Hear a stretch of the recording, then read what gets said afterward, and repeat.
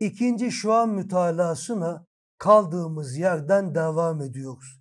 Hem mesela müthiş bir hastalıktan şifa bulmak eğer tevhid nazarıyla bakılsa mesela kanser gibi ölüme sebebiyet verebilecek bir hastalık düşünelim.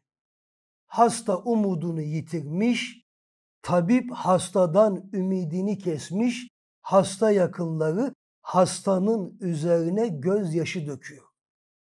Hasta böyle bir vaziyette iken birden şifa buluyor ve sıhhatine kavuşuyor. Bu hadiseye tevhid nazarıyla baksak, tevhid aynasını tutsak, yani şifa bulan her hastanın aynı yerden şifa aldığını düşünsek, alem şöyle şekillenir. Birden zemin denilen hastane-i kübrada bulunan bütün dertlilere alem denilen eczane-i ekberden ilaçları ve dermanlarıyla şifa ihsan etmek yüzünde. Zemin yüzü bir hastane-i kübra oldu. İçinde yüz binler hasta yatar.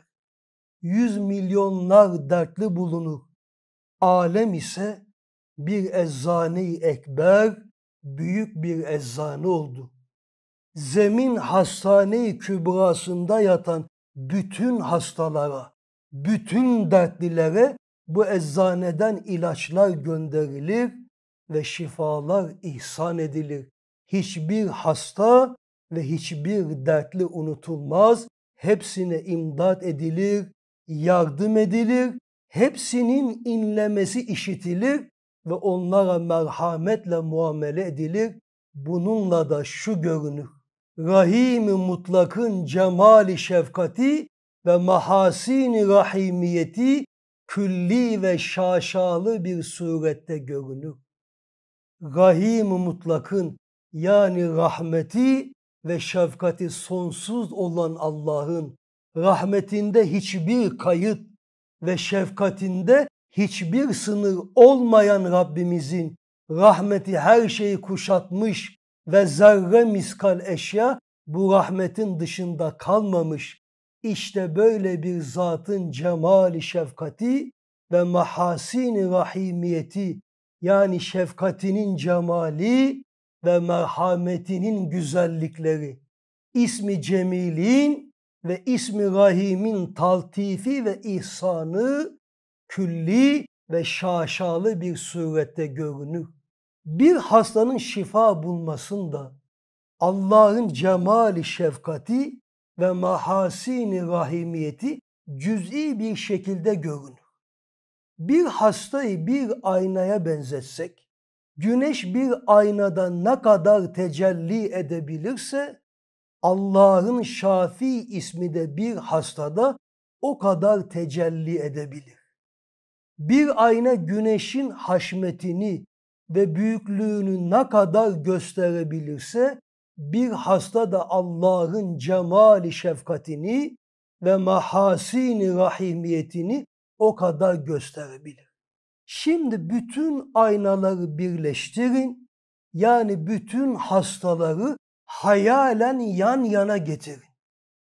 Bir aynada gözüken güneşin tecellisiyle yan yana dizilmiş milyonlar aynada gözüken güneşin tecellisi bir olmadığı gibi bir hastada gözüken Allah'ın cemalinin ve rahimiyetinin tecellisiyle yüz milyonlar hastaların yan yana gelmesiyle hepsinde aynı anda gözüken cemal ve rahimiyetin tecellisi bir değildir bir hastanın şifasında gözüken tecelli cüz'i ve küçüktür. Bütün hastalarda gözüken tecelli ise külli ve şaşalıdır. İşte tevhid aynası. Birbirine benzeyen bütün fiilleri tek bir aynada yansıtmakla ve aynı fiilin mazharları olan eşyayı yan yana getirmekle Allah'ın o isminin külli ve şaşalı bir tecellisini gösteriyor. Bununla da cemal ilahi ve kemali Rabbani tezahür ediyor. Eğer şifa bulma hadisesine tevhid nazarıyla bakmazsak şu olur.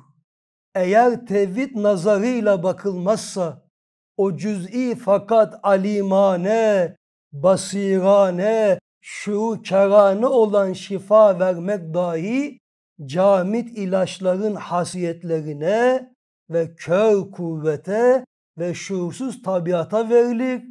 Bütün bütün mahiyetini ve hikmetini ve kıymetini kaybeder. Evet, bir hastaya şifa vermek cüz'i ve küçük bir hadisedir. Ancak şifa vermek alimane, basirane, şuurkerane bir fiildir. Bu cüz'i fiilde Allah'ın alim, basir, hakim ve kadir gibi nice isimleri tecelli eder.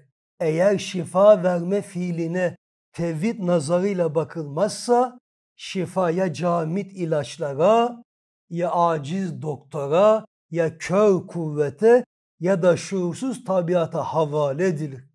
Bu durumda da bütün bütün mahiyetini ve hikmetini ve kıymetini kaybeder. Burada bize düşen şudur.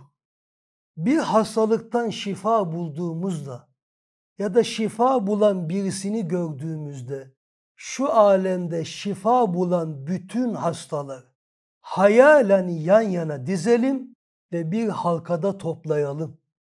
Sadece insanları da değil, hayvanat ve nebatatı dahi bu halkada cem edelim.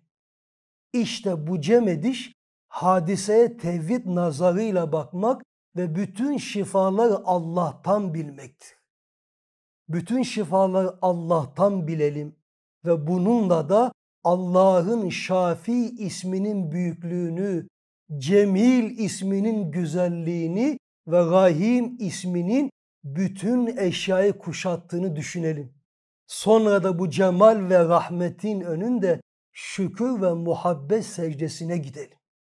Bir sonraki dersimizde bu bahse devam edeceğiz. Şimdilik Allah'a emanet olun.